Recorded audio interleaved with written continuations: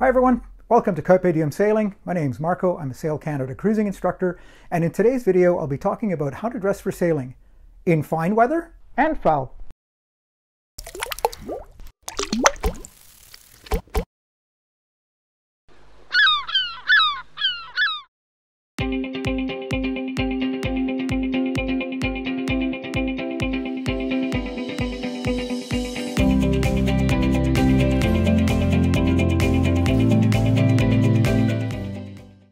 Welcome to episode 31 Dressing for Sailing.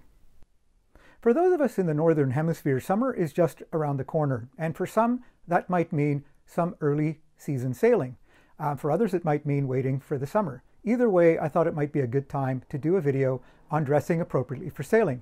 And when I mean appropriately for sailing, I don't mean dressing for the yacht club.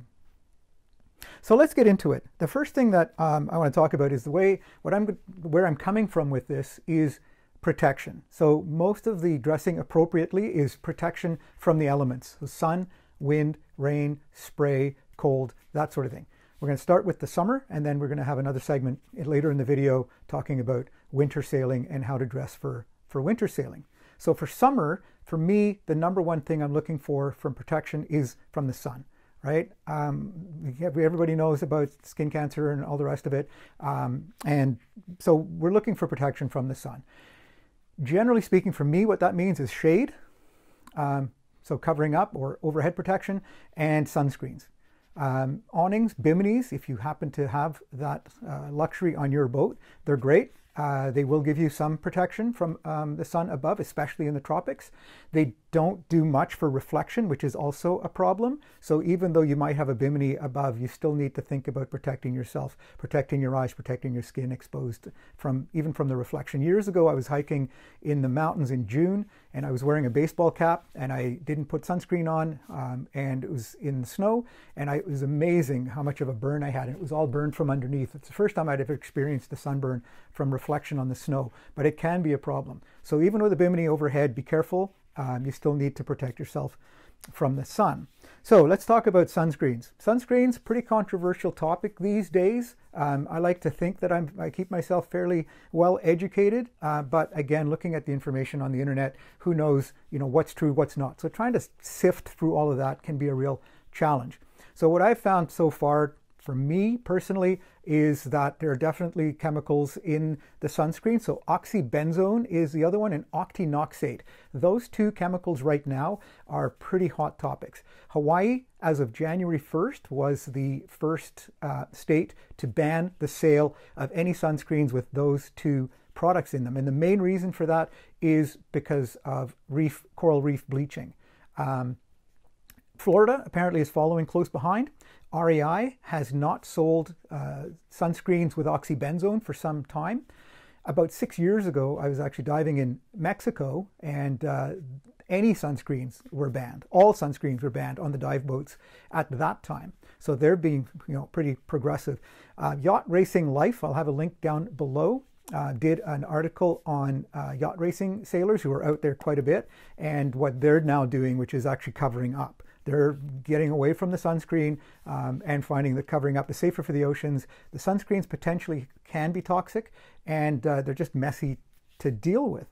So for me, um, I'm not a real big fan of sunscreen. Even the mineral-based sunscreens, the titanium and the zinc oxide, which are considered to be somewhat reef safe, um, they're messy, they're white, they're chalky. I don't, I don't really like them. So I don't really have much left uh, if I'm not going to use sunscreen. This is my own personal choice. Look into it, decide whether sunscreens are right for you. Uh, talk to your dermatologist. Um, I talked to my dermatologist. Obviously, she believes that they are very important, and SPF 50 minimum is what she's she's recommending. So, make you know, do your homework. Decide what's right for you. For me, I try to limit it and I try to cover up as much as I can. So, like I said, not a big fan of sunscreen. However, what I am a big fan of um, is certainly protecting my vision. And um, so sunglasses. So these sunglasses right now, they wrap around, which is a nice feature. They um, have UVA and UVB protection, 100%. That's the thing to look for. It's 100% coverage, 100% protection from UVA and UVB rays. These might be kind of stylish, and they are 100% UVA and UVB uh, protected, but they're kind of open on the sides, and so you can still get some glare coming through there. So the wraparounds are nice. These are actually some of my favorites. Uh, they're polarized, um, and the polarized, contrary to popular belief, um, doesn't necessarily offer you better or more protection from UVA and UVB. What it does is it reduces glare, it allows you to see better, and um, it can cut um, eye strain. All right, good pair of sunglasses. Definitely, you want to be having that high on your list of priorities. So next, we're going to start about we're going to talk about clothing. So starting with clothing, we're going to start at the top and work our way down. So this is um, a Tilley hat. Uh, Tilley was designed by, these hats were designed by a Canadian called Alex Tilley many years ago, a sailor who was looking for a better hat for sailing. So he came up with a prototype at that time. Uh, it was cotton canvas. It had a smaller brim. And then from then he's launched many other designs as well as adventure clothing and that sort of thing. Um, the main feature of the Tilley hat is that it's guaranteed for life. Apparently you can leave it in your will and if it wears out, they replace them free. I've had this one for many years. It's nowhere near being worn out. I don't know if that's still the case. I have a link to their site down below. You can take a look and see if Tilley still offers that. It's quite, uh, quite a cult, cult following all around the world. Um, this particular hat is, uh, I quite like it. It's very light, it's synthetic, it dries quickly, it's cool, it's got some aeration around the crown, it's got foam built into the top here so it won't sink if it does fall in the water, and hopefully it won't fall in the water if you use the, uh, the straps. So the nice thing about this is um, that it does offer you know pretty good protection all the way around and it's quite light and quite quite quite comfortable. The ball cap the baseball cap definitely very very popular, but extremely limited in protection. Essentially, it protects a little bit of your forehead, maybe your eyebrows, and that's it. So, yeah, better than nothing, but not great for looking for good sun protection. And then we have the baseball cap with the little flap here, which I call the French Foreign Legionnaires hat. So basically, it's essentially a ball cap with a fairly wide brim and, uh, and this little flap at the back and uh, covers your ears, covers the back of your neck, and then there's a little strap here to hold it on your on your head. Um, a lot of fishermen use them. Uh, pretty common if you're going to be sitting out in the sun um, all day long. The bone fishermen, that sort of thing, they're quite popular with with them. There is a company called Solbari. I have a link down below, and they actually have a version of this that has a flap that comes across, so it covers your entire face. So that with sunglasses, and you've got really good all-around protection. So the other thing is, you might have seen that picture in the yacht racing life where the racer in there had this tube covering his face as well as sunglasses and he was wearing a ball cap. So completely covered. Something that you might want to think about is just a, a bandana. That might cover you if you choose to go that way. It's a cheap, easy option to deal with with that. Um, or you can go with that full face wrap. So moving on down, we're going to talk about shirts. So this shirt, golf shirts, polo shirts, they can they come they do come with UPF, so ultraviolet protection factor. They call it UPF clothing. Um, they they do protect somewhat, but again, arms are bare, the neck is bare, uh, so limited, but better than than nothing. This shirt is a UPF factor 50 shirt. This is from Patagonia. It's long sleeved, it's synthetic, it's extremely light and silky. It's very cool in the summertime. And then it's got this neat feature here where the collar actually flips up and then another part of the collar flips up. So you can flip that up and you can protect quite a bit up into your neck. So for full coverage protection from your neck down to your wrists um, in the summertime, it's very cool, um, very comfortable travel shirt. Going further down, we have these shorts, which are again um, good to the knees kind of thing. Uh, they're quick dry. They're very comfortable. There are lots of pockets on them for doodads and rigging knives and things like that. Um, but again, they only cover it to the knees. So if it's a very sunny day, you need to have coverage. You can get longer pants down to the ankles. Which brings us down to footwear. So with footwear, you've got your traditional moccasin boat shoe like this.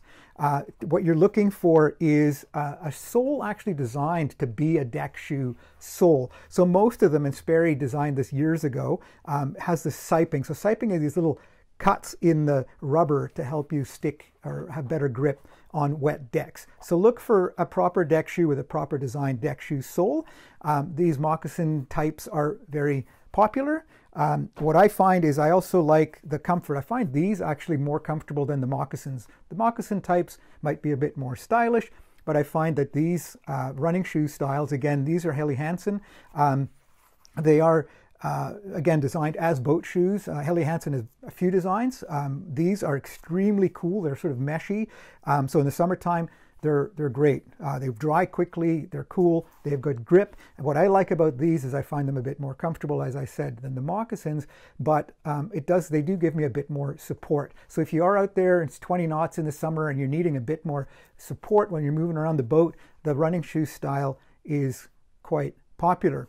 Now, I just want to mention something quickly. I showed these Helly Hansen shorts. I'm wearing a Helly Hansen shirt. I got Helly Hansen um, running shoes, and you'll see some more Helly Hansen stuff down the line. I do have a pro deal with Helly Hansen, but they're not. I'm not sponsored in any way. I'm not doing this as a professional, um, you know, commercial for Helly Hansen. I do like their products. I do get a pro deal. Um, and I just want to make sure that that's disclosed. But um, I also will not endorse any product that I personally don't believe in. So I'll be doing gear reviews. I've already done one on that crew overboard recovery system, and uh, you know I'll be honest. If it works, I'll show you how it works and why I like it. And if it doesn't, then you know I'll let you know that too. So moving on, um, they're sandals. Let's go to this sandal here. Sandals and flip-flops. They do have some that do have siping and deck shoe soles.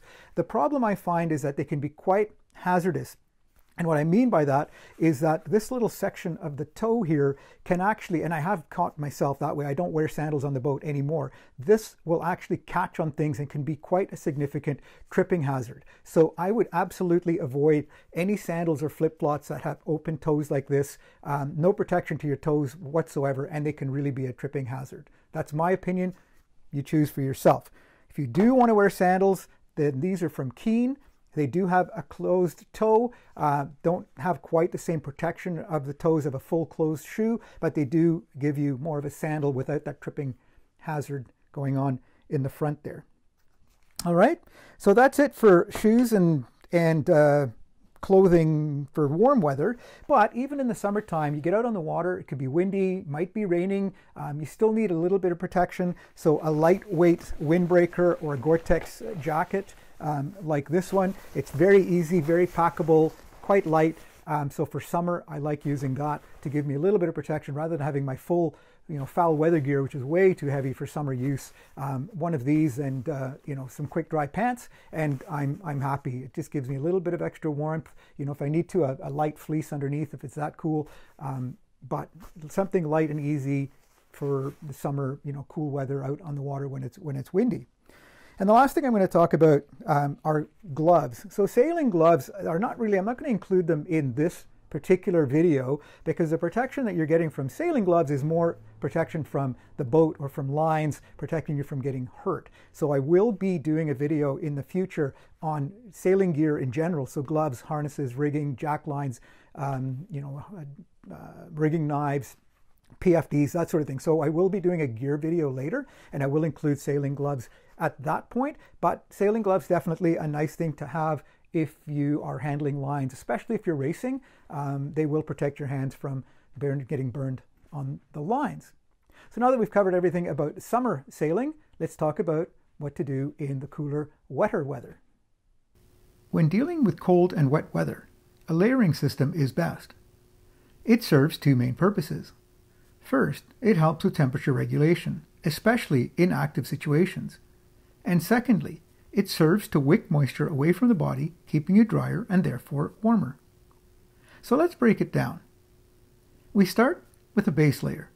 This is commonly a synthetic like polyester, but can also be silk or merino wool, according to personal preference. Next, we have an insulating layer of wool, fleece, or synthetic insulation like DuPont Sorona. Some people might remember PolarGuard and Thinsulate back in the day. Down and cotton, by the way, are both very poor choices for cold, wet weather as they do not retain any insulating properties when wet. Some people like a mid layer. This is usually a slightly heavier weight base layer that can be layered over a base layer or used as a heavyweight base layer by itself, once again depending on activity and preference. Finally, we have the outer shell, most commonly a waterproof but breathable fabric, Gore-Tex being the most commonly known. But many brands have their own proprietary fabrics that work well too. So the idea is for the system to keep heat in while repelling wind, rain, and spray, all the while letting perspiration out, keeping you warm, dry, and comfortable. Here we see the layers laid out, starting with the base layer, then the mid layer, the insulating layer, and finally the outer shell. This is an example of a quilted garment using DuPont Sorona, a synthetic quick-dry insulation. Now let's discuss the four different layers and the various fabrics and materials to choose from. I finished up the last segment talking uh, about sailing gloves and how they weren't really going to be included in this video because they're there to protect your hands from lines and from working lines on the boat. But you know, thinking about it, they do actually provide sun protection as well. So just wanted to mention that that they are good to have, even if you don't necessarily need them to protect your hands from the lines. They do offer good sun protection. All right, so enough about the sun. Let's talk now about cooler, wetter weather. So I did a course uh, in college, I did a two-year outdoor rec course years ago, and on day one, the first thing they told us was no cotton. So we were not allowed to wear anything cotton anytime, anywhere, on any trip for the whole two years of the program. And to this day, I live by that rule. In cool, wet weather, I do not wear any cotton. Even my underwear is synthetic. I do not wear cotton. Um, it's just bad news. It does not insulate. It maintains the cold, wet layer against your skin, cooling you off. Um, years ago, uh, we were doing an overnight race, the Swiftsure race outside of Victoria or out of Victoria.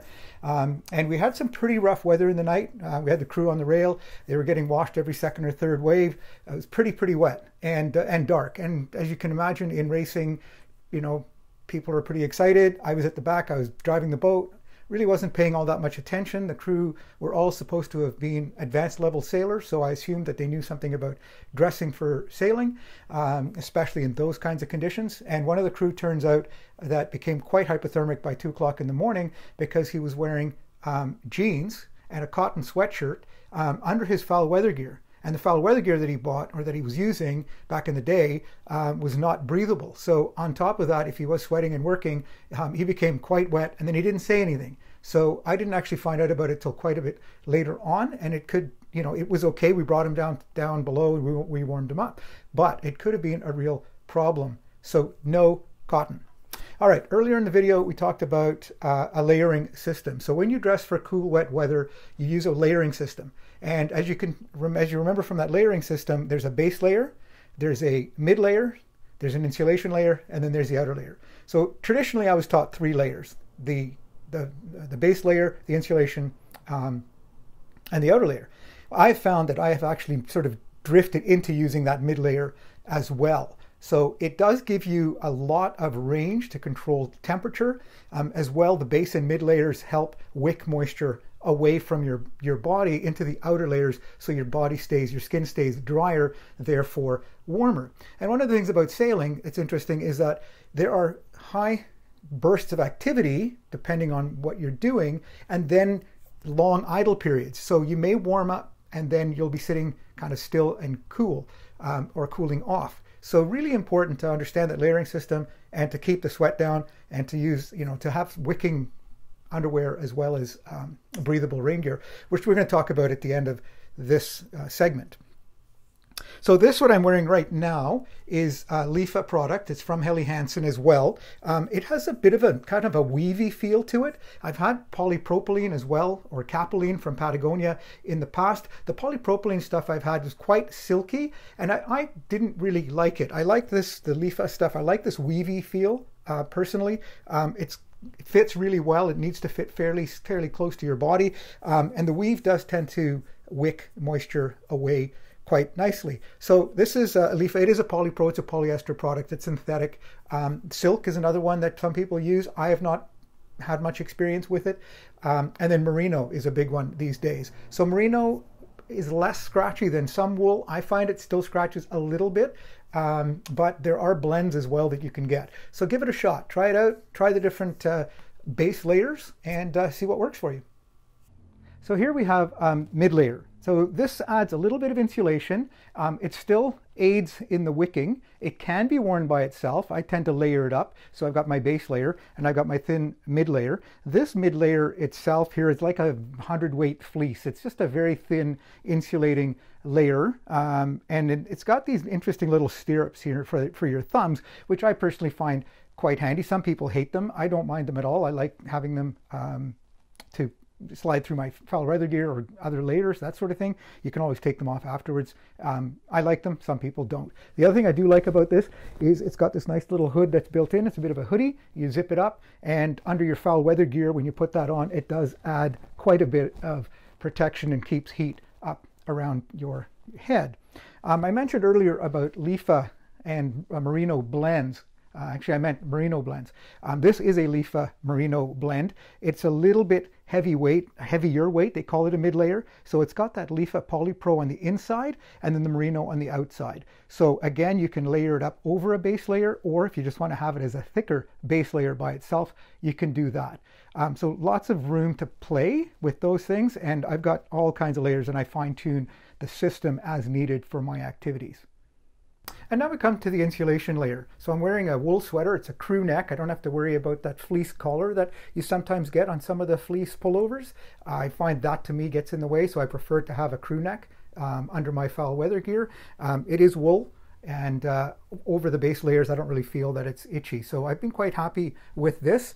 Um, the other options are the Polar Fleece or the Fleece. This is a Patagonia snap tee that I've had for 20 years, and uh, it's incredible. The stuff just lasts forever. So one of the reasons I like Patagonia is the quality is great and the stuff lasts. i have lost more of these than I can remember, but uh, this one has has kept up with me for quite a while. This is the collar that I'm talking about. Um, for me, I'm not a big fan of these collars. I'd rather have a wrap um, or something like that, but uh, some people like them. So for me, the sweater works, but the fleece can be a good um, option as well. And the fleece does come in different weights, so once again, you can fine tune that uh, layering system.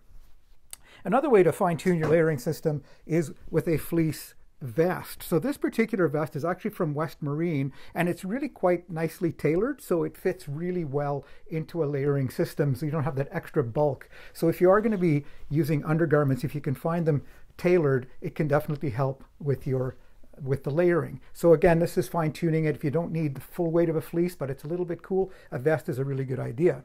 And then you saw earlier in the uh, video, I showed a picture of this um, Helly Hansen uh, hybrid crew jacket and you can see I'm not sure if you can see but again it's quite nicely tailored so that it fits and, and layers well the um, insulation in this one is actually called DuPont Sorona which is a polyester so similar to the Polar Guard, back in the day, it's a quick dry. Um, it will keep you warm when wet, and uh, it does give you quite a bit more insulation, especially if you're sitting around the cockpit, um, you know, on watch, that sort of thing, and you're not being all that active. It's really nice to have that under that last layer, which we're going to talk about next. And that brings us to the outer layer. I'm going to do the outer layer in two shots, in two segments. I'm just going to talk about the bottoms or the pants, which are bib pants. They come up quite high. You can see they come up quite high at the back as well. These are the Helly Hansen Aegir offshore pants. They are uh, three-layer Gore-Tex. Uh, they have padded knees, uh, pretty heavy duty stuff. Uh, for being out in heavy weather offshore, they're great. Um, they're fairly still new. They're quite crispy. I haven't even really gotten dirty yet, but so far I've been very happy with them.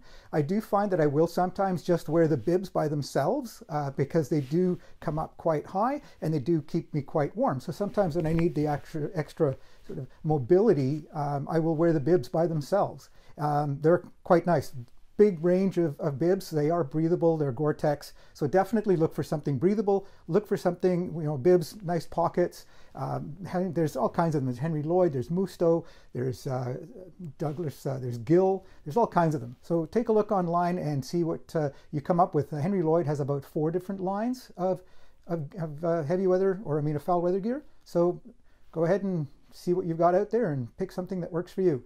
Next, we're going to talk about the jacket pretty heavy duty once again. Some of the features that you'll find in a jacket like this are neoprene or uh, rubberized cuffs to keep water from running down your arms. It's got a reinforced sort of Cordura seat for where you're sitting so it doesn't wear out quite as long. The zippers are waterproof. It's got this high um, collar um, a, a, very visible glow, day glow hood. So if you do go overboard, you can be seen. And then when you do have it all cinched up, you've got this piece here that comes across as well. You'll also notice that this particular jacket has SOLAS reflector patches on it. So these are some of the features you look for in a heavier duty jacket, but again, look for something that you can layer up with that's waterproof, breathable, and has the features you need for the kind of sailing you do. And finally, we come to the accessorizing, the accessories. So uh, what we call toques in Canada, wool caps, um, something like this. This is a synthetic, it's a bit of a woolly polyester blend. You can get fleece caps, you can get balaclavas, whatever. You can get the hoodies like I had earlier. So something to keep your head warm. Um, I always laugh when people say you lose 60% of your body heat through your head. I don't know what the actual number is. Um, 60% of my entire body heat through my head seems a little bit extreme, but you hear these numbers sort of thrown around. Definitely, you do lose heat through the, your neck and your head, so keeping your head covered up definitely goes a long way to keeping your whole body warm. That is for sure. The other thing I like personally um, is this Gore-Tex hat. I actually bought this Gore-Tex hat when I was in college in 1990. It is Gore-Tex. It's one of the early Gore-Tex. It's made by Outdoor Research, and it has been an amazing rain hat. They still make it. I think they call it the sombrero or something like that. But Outdoor Research still makes these Gore-Tex rain hats, and this has absolutely been amazing in the rain. I have spent I have hours and hours of standing in the rain with this hat. So that for me comes highly recommended.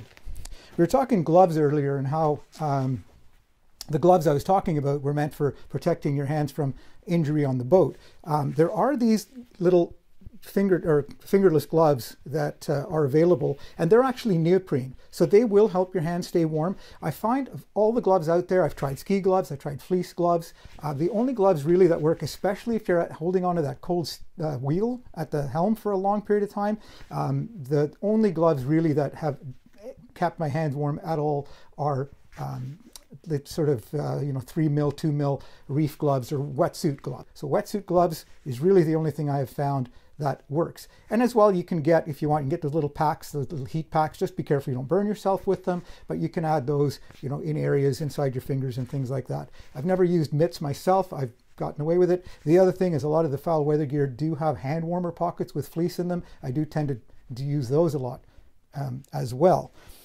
So on to footwear. So standard rubber boots um, are you know, are the sort of the, the go-to for most people. I personally don't like them. I find them cold. I find that they don't breathe and my feet get sweaty. So for years now, I've been using um, a leather option. These I got are Sperry's. They're probably 15 or 20 years old. Unfortunately, the sole has become very, very hard and it's actually quite slippery, so quite dangerous. There's no way of resoling them. It's unfortunate because I love these boots. They fit like slippers, no word of a lie. Uh, they're insulated, they're super warm. Um, and the only problem now is that I've lost the traction because the rubber has gotten hard over over time. So uh, that's unfortunate. I still have them. I can't seem to get myself to get rid of them, but I love them so much. But they, and Sperry hasn't uh, replaced them with anything. They weren't cheap. When I did buy them, I bought them at West Marine, and I thought they were at $39.95 or something like that. I thought I was getting the deal of the century. They were actually 239 or something, but I still bought them and I have absolutely no regrets. There are quite a few leather boots out there. I've seen some online, Musto and a few others. Um, I've just recently got these from Gul. And uh, I haven't actually, they're brand new. Uh, they're not quite as comfortable as those other Sperry's, but um, they're not broken in yet either. Um, they do look really quite well made. They've got nice rubber so, uh, soles on them. Hopefully they won't dry out and get slippery. Uh, they're not quite as insulated either, but uh, you know that you can fix with some socks and that sort of thing. So talking about socks, um, again, back to that layering system. So these are merino wool socks, and typically what I'll do is I'll have a Polypro sock liner, again to wick that moisture out, and then have these merino, stretchy merino sort of, they've got a bit of spandex or lycra in them to give them some shape. But again, um, that wool with the base layer um, and then the boots as an outer layer, and those boots happen to be uh, waterproof and breathable. So if you're if you spend a lot of time out there and a lot of time out in the wet and the cold, really think about getting one of those breathable um, leather boots. Now I think uh, gill does make a breathable. I've looked online. I have seen some Gore-Tex Gore-Tex boots out there um, from D Douglas Gill, I believe. Um, if I can find them, I'll put them down in the description below. And that's the end of the uh, layering system. I actually had quite a bit of fun doing this video, and uh, I hope to see you in the next one. New episodes go up every second Wednesday at 6 p.m. See you next time when we talk about coming about or tacking. Thanks for watching. Until then, I wish you all fair winds and following seas.